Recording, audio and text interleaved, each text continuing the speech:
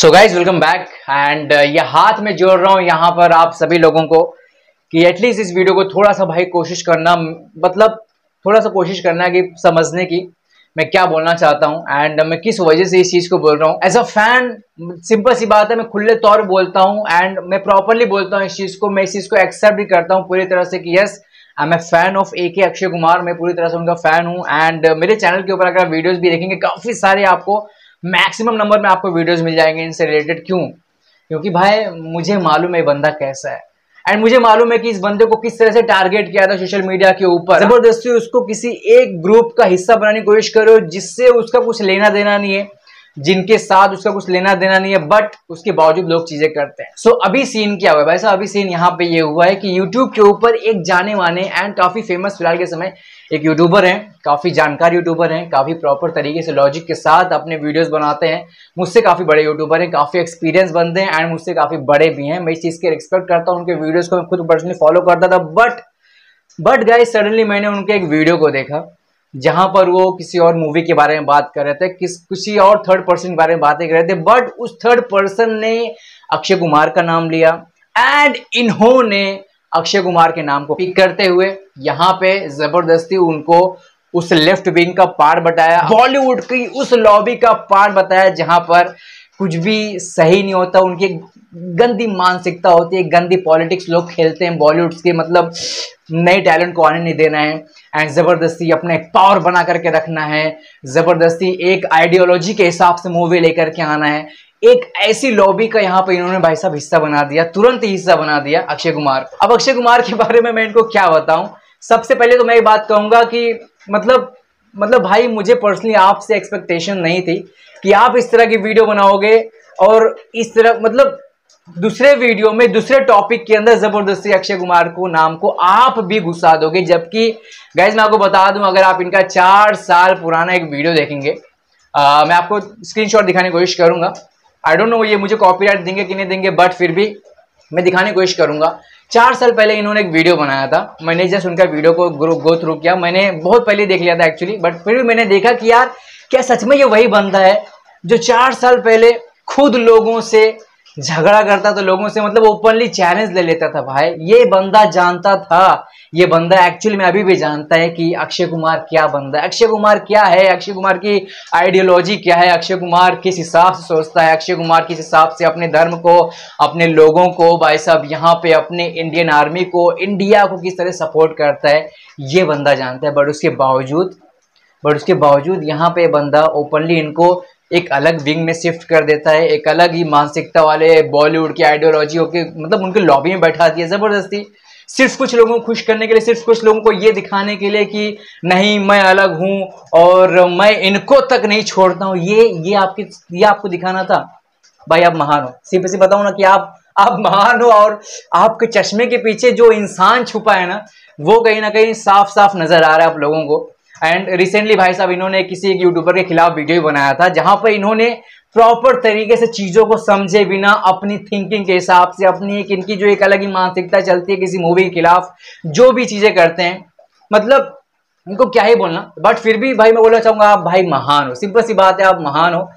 And uh, मैं तो बोलता हूँ सिंपल सी बात है कि भाई कोई बंदा दूध का दूल्हा नहीं होता। अक्षय कुमार ने भी काफ़ी सारी गलतियाँ की अपनी लाइफ के अंदर। एंड आप जानते हो अक्षय कुमार का कोई गॉड फादर नहीं रहा बॉलीवुड के अंदर। कोई गॉडफादर नहीं रहा, उस बंदे ने ज़ीरो से शुरुआत किया है एंड आज लगभग 30 पैंतीस साल हो गए इंडस्ट्री के अंदर।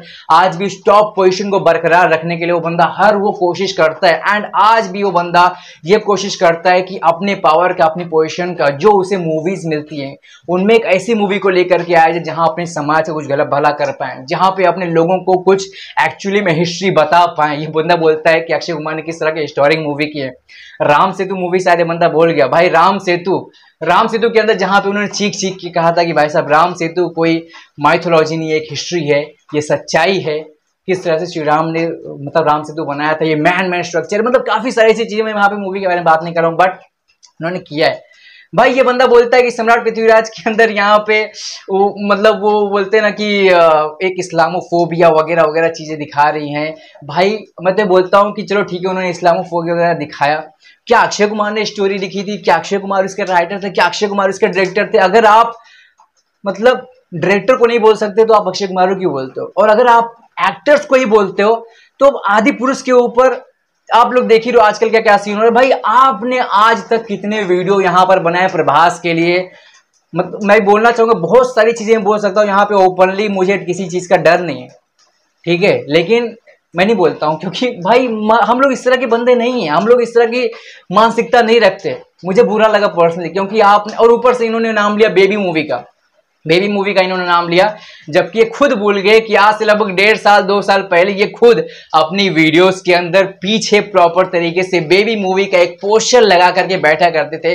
तो भाई, अगर बेबी बेबी मूवी खराब थी बेबी मूवी किसी चीज़ को प्रमोट कर रही थी तो यार आप उसको इतने साल से पीछे अपने वीडियो के अंदर लगा करके उसका फ़ोटो क्यों प्रमोट कर रहे थे? क्या आप गलत नहीं है? कि आप सच में इतने सच्चे हैं जितना आप लोगों को दिखा रहे हैं?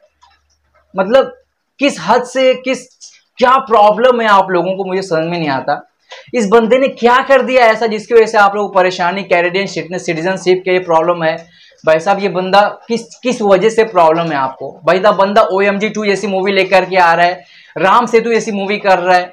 भाई, आपको और क्या चाहिए?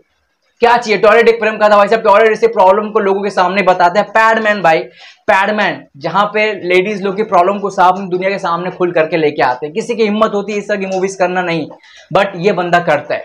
टॉप एक्टर्स चाहें तो सिर्फ़ और सिर्फ़ वो बड़ी से बड़ी मूवीज़ कर सकते हैं बट अक्षय कुमार एक ऐसा बंदा है जो बड़ी मूवी छोटी में फ़र्क नहीं पड़ता, जो उसे सही लगता है, वो करता है।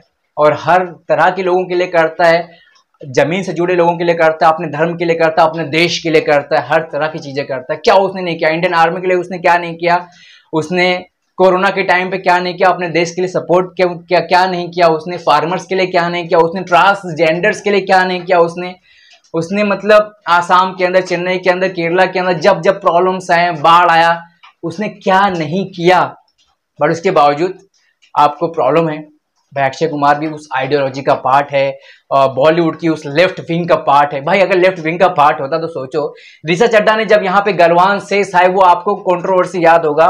भाई, उस टाइम पे इकलौता एक ऐसा बॉलीवुड का बंदा, एक ऐसा इकलौता बॉलीवुड का सुपरस्टार जो खोल करके बॉलीवुड से जुड़े हुए लोगों का यहाँ पे विरोध करता है। ओपनली बोलता है कि नहीं यू आर रॉन्ग आप गलत हो।